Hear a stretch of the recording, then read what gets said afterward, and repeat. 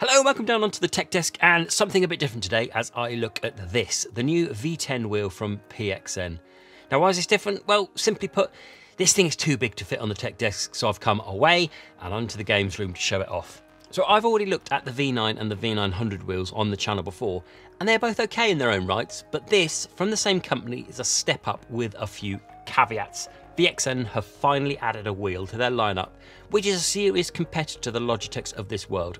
But at over £300 though, it is a hard sell as it is relatively expensive for a company that frankly made budget wheels before today. So the box it comes in is large and heavy with the entire thing weighing in at just under 10 kilograms. Inside it's very well packaged and consists of the wheel, a bunch of cables, wheel clamps, more cables, instructions, gear shifter, wheel module and pedals. Once out, fitting it all together isn't particularly hard, and I've actually managed to do this without the need to look at the instructions. It's all pretty self-explanatory. It's PC, Xbox and PS4 compatible. I did try this on the PS5 with no luck as yet, but maybe that will come in a future update. As for connecting and working it, I had to do nothing but plug it into an Xbox. Plug in an Xbox paired controller and it all worked nothing else was needed. So let's start with the wheel itself. It feels a good weight and all the buttons are nicely placed and have a good feel to them. If I did have to have one complaint, it's that it's a bit on the small side. It's only 27 centimeters wide and 25 centimeters tall. It is covered in a felt, which again this feels nice and premium, but I can 100% imagine this wearing after a few months of sweaty hands turning it. In the centre of the controller, face buttons, including L3 and R3, on the rear are some great metallic paddles. The top two are out of the box L1 and R1 and have a very satisfying click to them.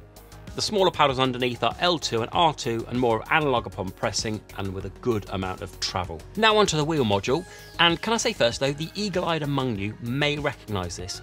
It is extremely similar to the Mad Catz Pro Racing wheel, and though I can't be 100% sure, I would put money on it being a repurposed product. So this part of the V10 is where all the weight comes in. Due to what's inside, it's very heavy. You connect the wheel to it by simply placing the wheel onto it and screwing the large part tight. Once turned on, it does a startup routine where the force feedback kicks in, which takes only a few seconds. The whole module is clamped onto the desk, and it's great that it has a metal plate, but it's sad to see that the clamps are still just rigid plastic. They do a good enough job, but for the price, a metal clamp would have gone a long way to add in more value. On the rear of the module are all the ports for the components and the switch to switch between 270 and 900 degrees motion. Next onto the gear shifter, this is good and a bad really. The good is above the desk, the bad is under the desk. So the stick itself feels premium and it works well. I've no problems hitting my gears 1 through 6 and to activate reverse you just push down. It's all good. The problem I have is underneath. The clamp, for starters, is plastic. As with the module, some nice metallic clamps would have been much more preferable. So next up is the pedals. I really enjoy using these pedals, though they are mostly metal. They look cool and have good adjustability. But it's in the adjustability that again feels a little bit cheap. To adjust them, you tighten or loosen the large plastic bolt at the bottom. This then gives the pedals somewhat of a harder or looser feeling when pressed. You can also adjust the angle of the pedals by undoing the screws on the side of each pedal. The plates are made of all metal, and although heel rest appears to be metal, I believe it to be just coated. Underneath the footplate is five large rubber pads to help it keep it secure on the carpet or flooring. I've had zero issues with the movement. I find it to be very secure when using it on carpet. To the rear is a port to connect to the wheel and a USB port. Overall, these feel great and using them is a definite step up from all the plastic pedals that I've used in the past. There's also a free app that you can download which has a plethora of functions.